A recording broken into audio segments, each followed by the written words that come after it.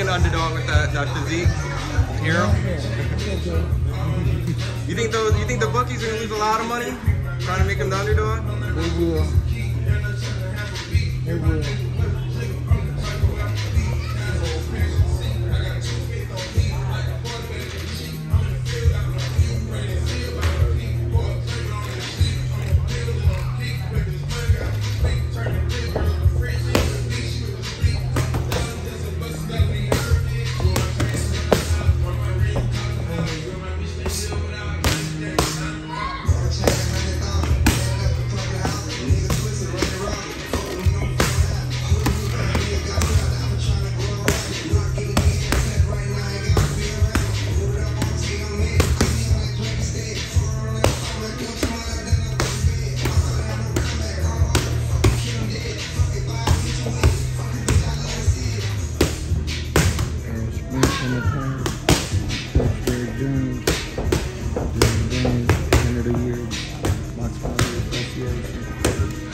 Preparing for one of the, the biggest fight of his career so far.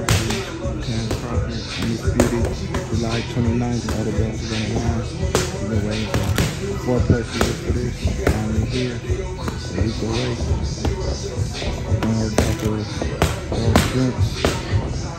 I got think he's looking looking crazy, nice, nice uppercut, good timing. Getting 16 ounce gloves, but they little heavier than if they're gonna be on fight night. They look like you guys see them popping these heavier gloves.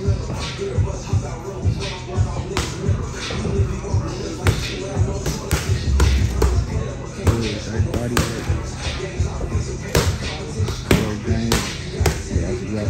Frank Murray, Anthony Joshua, Ron Garcia. You should try and turn it down on if they're still each other. We also got another big fight in two months, Charlo versus Canelo. See George on the shape, he always working.